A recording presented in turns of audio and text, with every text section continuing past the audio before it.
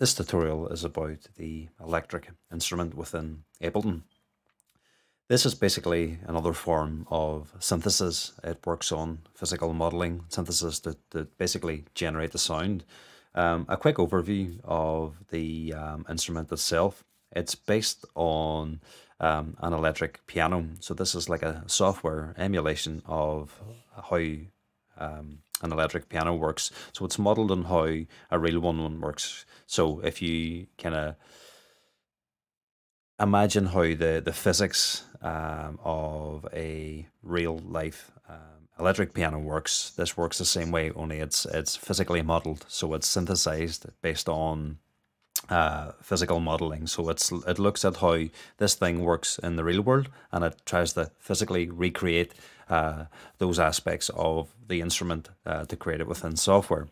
Um, okay, so let's have a look at the mechanics of how your piano works. First of all, this will really help you understand exactly um, how this works under the hood. So when you press a key on a piano, it activates a mallet that mallet hits a fork and then the fork is amplified. Now, basically, that fork has two different elements to it. You have your tine bar and your tone bar. Your tine bar is where the mallet hits the fork and then it vibrates.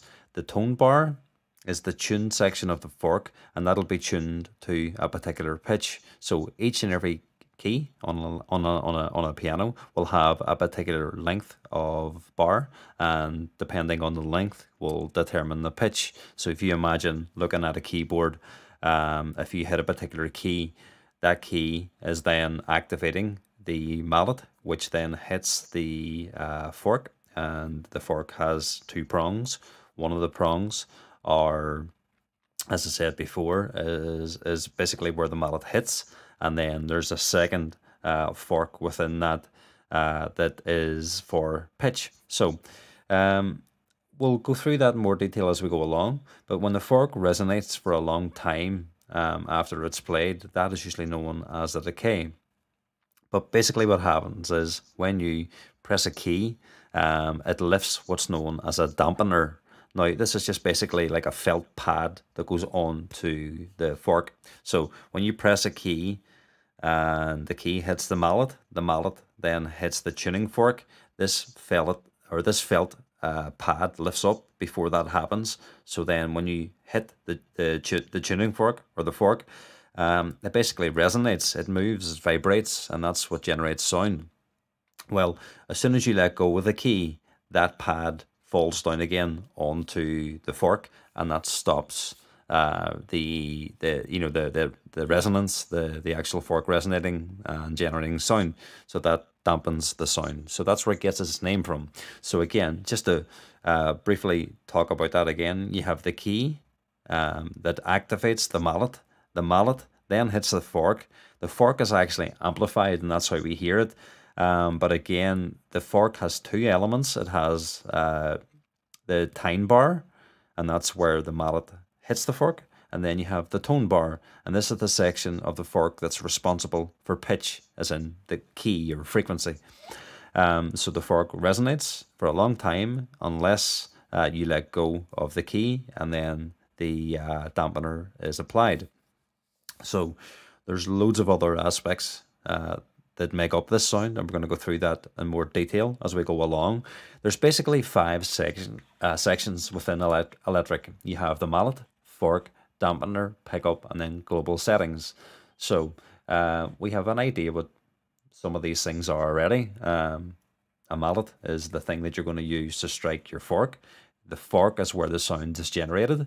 The dampener um, basically controls um, the sound of the dampener. You can get different types. You can get soft dampeners, uh, more hard damp dampeners. So they're going to have different effects uh, when they're being applied and lifted from the fork. We'll go through that in more detail as we go along. The pickup is basically where the vibration um, that the uh, mallet hit, hitting the fork and and uh, you know basically those vibrations that, that that creates. The pickup is where those vibrations are amplified so we can actually hear and perceive them. So you can move around where this pickup actually picks up the vibrations and that will uh, change the sound quite a bit as well. So we'll have a mess around with that, around with that as we go along. Now, next up we have our global settings and that's the overall um, settings for everything that we see here. And you can see that that's, uh, it's nicely broken up as well. And uh, once you understand the mechanics of how a piano works, I think it becomes much easier to understand what's going on here. If you don't under, understand the mechanics of things, sometimes it's really difficult. So that's why I'm putting that out there now. So uh, we can basically build upon that and hopefully it helps you understand the rest of what I'm going to say. Okay, so let's look at the mallet section. I'm just going to play this. This is literally um, the uh, instrument from uh, when you click on it. So if you go to instruments and if you click on electric, this is what you get. I haven't changed anything at all.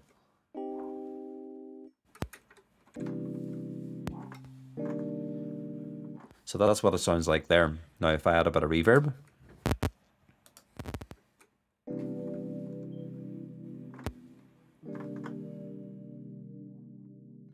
Very, very nice. Okay, so if you have Ableton 10, you will um, hopefully have the probability pack. And I'm going to turn that on there a wee second. And if you want to find that and follow along, you go to packs and then probability pack by Sonic Faction. And you go to probability ARP. So that's what I have. The only thing that I've changed here is changed the shape to a minor 11th chord. So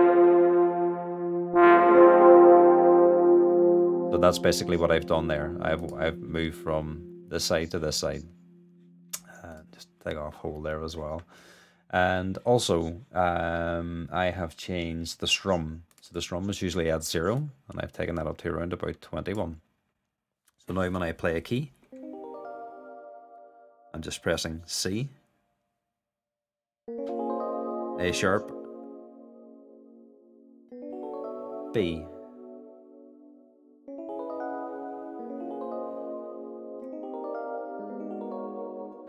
So you get some really nice strumming effects. I've done a separate tutorial on that, so I'm not gonna um, I'm not gonna actually uh, spend much time on that at all.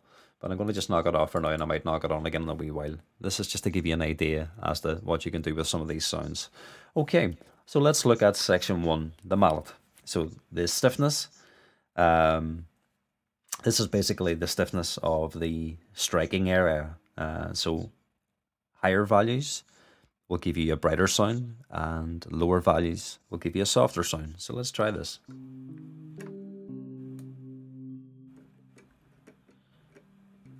So that's softer, it's going to get brighter.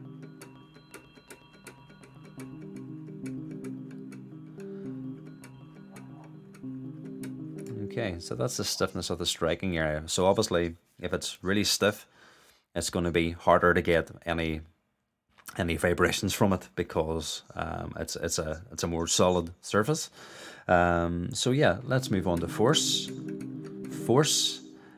This is uh, the force of a mallet strike. So if you're striking, um, if you're striking an area with a, a mallet and that force is really high, uh, you'll get a hard strike.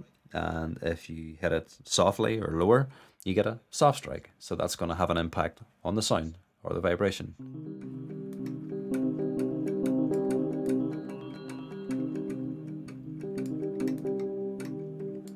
So these are ways you can just change change the tonal characteristics of your sound. Um, next up, we have velocity and key. And basically what this does is it allows you to add modulation based on velocity and the key that you're pressing on your keyboard. So it'll create variation, variation basically. So if I'm going to add a wee bit in here like so. So the higher keys will open up uh, the stiffness 12% and the key as well will take it up 16%. So it depends on how hard you, you press your keys will determine exactly how much stiffness that there is. And then based on the key that you press as well, that will determine the stiffness and also the force. So that's something to be aware of. You can just add loads of variation. So when you're playing, uh, based on how hard or soft you hit a key, will dictate how your sound actually is. Okay, so let's move on to the noise section. Now this is part of the mallet section as well. So what is the noise? What does that represent? It basically simulates the impa impact of the noise mallet so basically, if your mallet uh, hits the uh, you know the the area where you hit, and it can be noisy. You can generate a noise as well as a tone. So what this allows you to do is it allows you to basically shape the noise. So how long the noise takes to decay is here. Uh, the pitch sets the center frequency of the noise and then the volume is like a it's just you know how much of this noise do you want to apply to your sound? So let's have a mess around with it and see.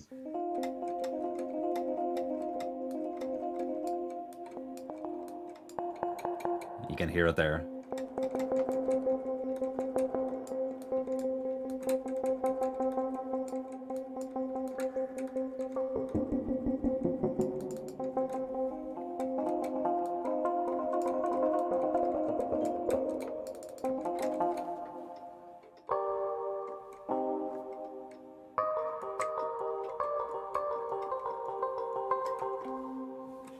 say there's a wee bit too much there. So let's take that down. And let's see. Again, that depends on what you want.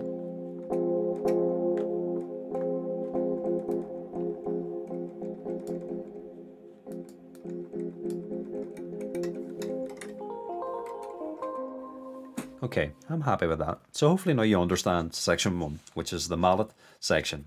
Okay, so let's move on to our next section, which is the fork section. So this is the heart of sound generation within uh, you know the electric instrument itself. So again, the fork has two sections: uh, tine, which controls uh, the section that is struck by the mallet. Uh, color allows you to blend between high and low partial frequencies, so you can add higher uh, frequencies or lower frequencies based on the color of your sound. So, what do you want this instrument to generate? Do you want it to do you want it to generate more higher sounds or lower sounds? So, let's have a look at that.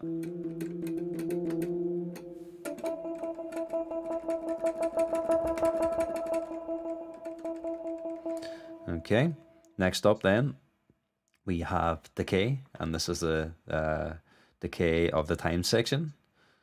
Um, so when the note's held, how long does it take for uh, this to decay? Let me just take off the reverb.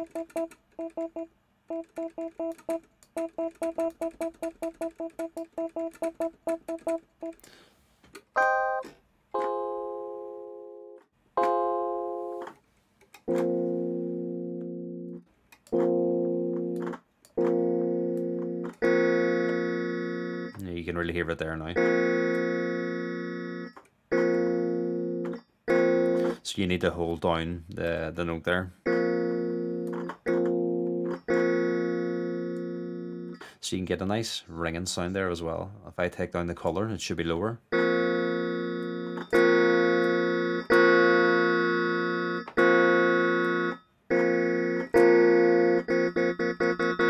Sounds higher if I go to the left and duller when I go to the right. So there you go. Just depends on the sound that you're after again, of course. Okay, so we've looked at the uh, tine controls, color, decay, and level. And of course, level is how much of a mixture of this you want in. So the levels of all of these are really important because you're trying to find a blend between all of these different settings If you're not too sure what you're at and you don't fully understand everything that I'm saying, it's fine. Experiment and you will get there. Okay, so let's look at the tone section here now. So this is tine here, and you can see there's divisions here, and we can go on to tone. So tone controls the secondary res response of the fork, which is for pitch. And basically the delay and level works the exact same way as well. Um, so the decay is how long this is going to last for when I hold in a key.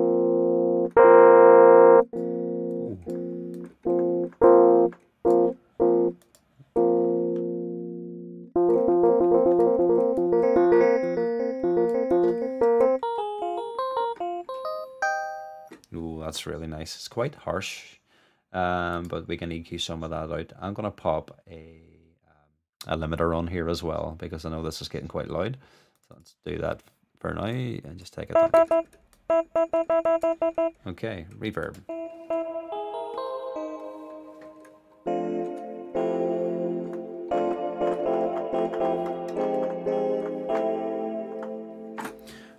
Very nice. Okay, so you can hear the difference with a wee bit of reverb on there already. So it's good to kind of jump forward a few steps, test a few things out, and then look back again to see where you are. Okay, so we've done the uh, fork section, and again, that's for basically shaping and generating your sound. Let's move on now to the dampener section. So basically, uh, the oh sorry, I forgot something here. The release is the decay time of both the tine and tone uh, when the key is released. So if you want to be released there on your sound as well, you can pop that in. It's quite nice. Ooh, very nice. Beautiful. Okay, so there you go. I forgot that. It's very important um, control as well. So let's move on now to the dampener. So this is used to help generate or stop uh, the vibrations of your fork, which is basically what your sound is. That's how your, your sound is generated. So the dampener basically uh, allows the vibrations to happen once you press a key because the dampener is lifted um, from the fork. But when you let go of a key, uh, the dampener drops back on to the uh, fork and then uh, the sound is dampened or stopped. Now, once that happens, uh, if you can imagine lifting something from a surface and dropping it. So if I lift a pen, it makes a sound, and when I drop it, it also makes a sound as well. So you imagine uh, if you're lifting, you know, quite a heavy felt uh, piece of material and you're lifting it from a, a fork and pinning it down again, it's going to make sound. There's going to be, you know, going to be friction there. This is me rubbing my hands. You know, you get you could get sounds like that basically. So what the uh, dampener section allows you to do is generate these sounds and control them. So um, if we look first of all um, at the dampener section, so you have tone. Um, there's quite a few things that this can do. This is basically the stiffness of the damper. So a low amount will give you a soft dampener and a high amount will give you a hard one. So let's look at that.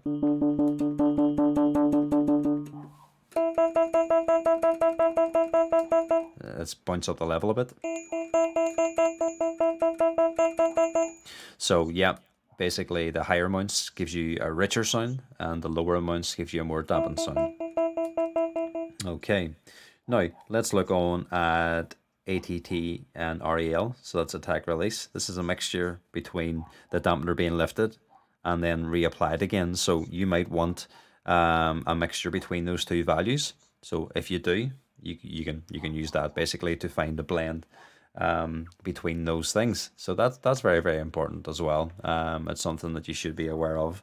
And um, there's loads more here as well. You have level, which is the exact same. It's like a, it's like a dry wet for each section. Basically, it's the same uh, as the others.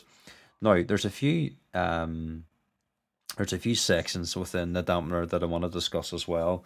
Um, so um, if we look at well, even we'll leave it there. We'll move on to the pickup. So the pickup section is where um, the fork is, is basically amplified. So a pickup is another name for a coil pickup. Think of a guitar when you when you uh, when you play the the the strings or the or, or chord on a guitar, it vibrates. Those vibrations are are actually picked up by a thing called a pickup what it does is it, it, it, it's got like a copper coil and magnets and it can pick up uh, vibrations of metal strings. And when those strings vibrate, the pickup uh, picks those up and then amplifies them and sends them out to your speakers, and then your speakers vibrate the exact same way as your strings vibrate, and that's how you hear sound. That then vibrates your eardrum.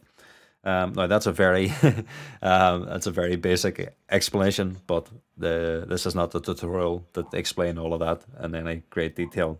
So basically, there's two different types of pickups. Um, if you look here where it says uh, R, R is actually for a Rhodes pickup, and it's an, an, an electro, electrodynamic pickup.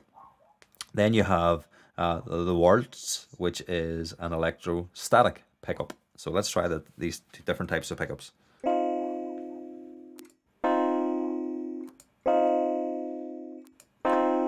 So one's slightly brighter than the other. Um, so the Rhodes is slightly softer. and there's, there's a change in color there's a change in dynamic there as well. Um, but yeah so that's something for you to experiment with. So there's two different types of pickups that you can choose from. Um, now you have input and output. The input is from uh, is the input from the fork to your pickup.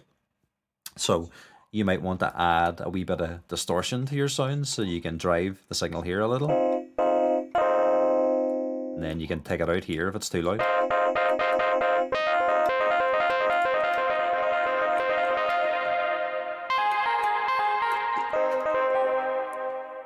Very nice. Now, obviously that's a little too much. We'll just take it back a bit, but uh, let's pop on the probability or see how we get on.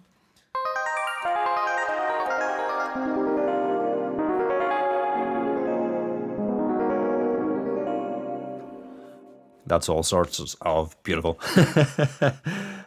okay, so there you go. Um, that is the input and output section, but there's some other things here as well that we haven't discussed. So, first of all, we have, uh, I'll just spell it out S Y M M. So, SIM, it's short for symmetry. So, what is a symmetry? Um, well, basically, this adjusts the vertical distance between the pickup and the sound. So, I'm going to uh, give you a wee demonstration of that with two pens. Okay, so let's check this out. Okay, so here I am. I might even do this. There we go, right. So uh, this is the sound source. And basically, yeah, so let's go for uh, symmetry first of all. So this is the vertical distance between the pickup and the sound. So say this is say this this is the sound, and you can adjust your pickup to be further away vertically than the sound source. This is your sound source, and this is your pickup, which is going to pick up the sound. So what you can do is you can have it closer, um, above, or below. I'm just trying to get I'm trying to get this on screen. So it can be above the sound source, or below the sound source, or anywhere beside it as well. So that's what that is. Um, if you then look at distance, so say this is your sound source, and I'm the I'm the pickup. I can get closer closer to that sound source, so I'm going to pick up um, a lot more of the sound and maybe a lot more of the surface noise as well. So that's basically what it's doing. You can be above, below, and further back, or closer to the sound source. So that's going to. It's like um, if you have your phone and you're trying to record something and you're further away from it or you're a wee bit to the left or a wee bit to the right, you're going to get different sound. Um, and that's basically what it's trying to replicate because um, it's exact same on a piano. Again, this is trying to physically remodel the way that these pianos work in the real world. So that's what that's for. So let me get rid of my head and let's get back to it. Okay, so um, yeah, so that's basically everything that I wanted to touch on there. The other thing then we have is our global settings. So they basically are the parameters for the overall performance of electric. So volume is your main output for your volume. Voices is the amount of uh, notes or voices that can be heard at once. So if you're playing lots of keys, you want to have your voices quite high. If you're not, you might want that lower. You know, if I if I change that to two, and just take this down.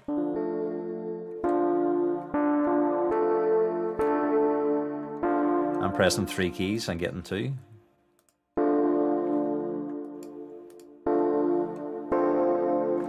So again, just be careful with which one of these you're using. The more you use, the more CPU or processing power that you need with your computer. So use that wisely. Um, to be honest, I usually have it set to 32 though. It just depends on the computer that you're using. Um, then let's look at semi. This transposes up or down in semitones. So if you want to pitch up a semitone, if I hold down C and got one, two, one. So that's now C sharp and so on and so forth. Um, detune will allow you to detune and cents, so transposes and cents. You can add a wee LFO to this as well to create some movement um, within your sounds, which is quite nice. Um, again, I'll let you experiment with that. Stretch is a hard one to get your head around, and this is all to do with how um, a real life piano works. Um, at 0%, it's at equal temperament. Negative values, which you can go in, and positive values, of course. Um, so negative values uh, gives you negative tuning and uh, it makes your upper notes flatter and it also makes your lower notes sharper. So they become more brilliant i think is the term um, that you would use for that.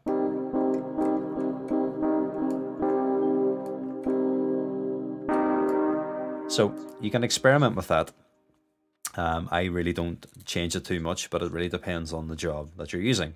So then uh, you've got P bend, that stands for pitch bend. So this sets the pitch bend of the modulation in semitones.